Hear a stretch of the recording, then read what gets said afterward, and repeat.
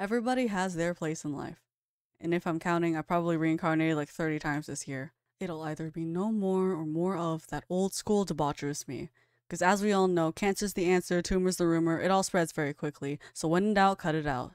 You probably also remember I take the train to school, and I learned recently when you lick your lips on the train, you get cancer. Everything, everyone, everywhere. That's where it all comes back to. If there's one thing that's consistent, that is. And I know I'm very inconsistent. It's not a very desirable trait to society. I'm not a holistic person in real life either. When I was growing up, let me tell you, home invasion and robbery town when I was little, you know this place is full of strip malls, gas stations, car washes, chapels, and litter. If there's bulletproof glass, it's not a restaurant. But I like that. These places are run down, but it looks like that because of years of operation and it's still standing. It's nostalgic to me and it really calls attention to the power dynamic that I enjoy exercising the most.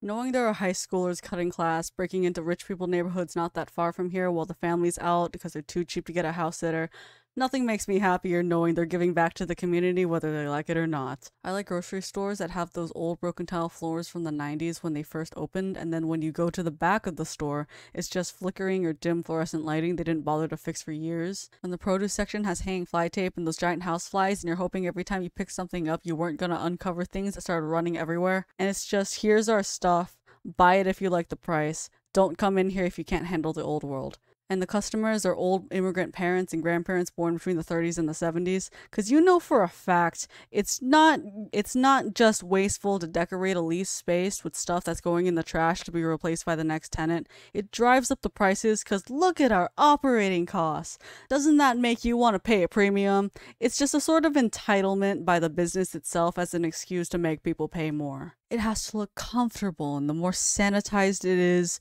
the more squishy the owners are for brain dead, talentless, coddled youths who ruin every single space they inhabit. Before that, kids just died when they were allergic, as God intended. And I know I technically shouldn't be complaining because my mom taught me from a young age to scam all different types of businesses, whether they were new or old. When I was homeless a few years back, and you can try this yourself too, if you go to a downtown of the closest major city with nothing but a dead phone and no money for even the metro, and a throw rug or chopped meat hair and dried out riverbed lips, you'll witness what class of people we see on cops that are eating squirrels. Which, even if they had property, would probably just dump it until there was nothing but these decomposing carcasses like three layers deep. And with your property taxes, you're paying for this holocaust of squirrels because with all of that subsidized nature, their bloodlines just don't end. And you guys are never gonna remember Cannibal Day. You will never know what people are until you talk to them. But I am a man of a million faces. You'll never get to know everyone I've ever eaten. I hope to see you next time on You Can't Say That Monday.